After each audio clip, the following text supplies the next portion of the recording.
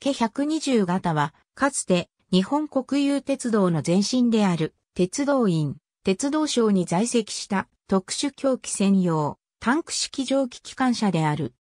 ケ121牽引の魚沼線の混合列車西尾寺駅元は、魚沼鉄道に所属した機関車で、1912年及び1913年に各1両の計2両が、ドイツのオーレンシュタインウントコッペルで製造された。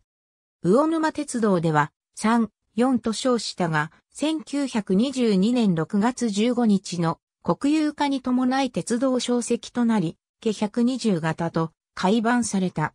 製造番号は4が7040であることが確認されている。3については不明確であるが、6076と推定されている。形態は 30PS 型と称する車軸配置0から4から0系7.3トン、単式2気筒の飽和式機関車で、軸距は 1500mm である。両機は買収後も大沼線で使用されたが、ケ120が1934年5月に廃車となった。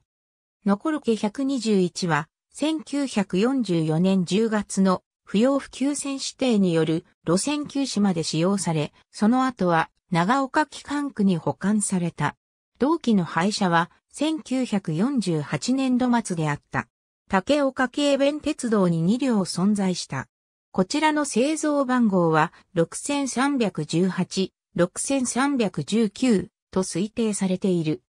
魚沼鉄道4については、メーカーや取扱商社の記録では、竹岡軽便鉄道納入となっており、何らかの事情で、魚沼鉄道に振り向けられたものと思われる。このうち2については、中遠鉄道に移り4となっている。ありがとうございます。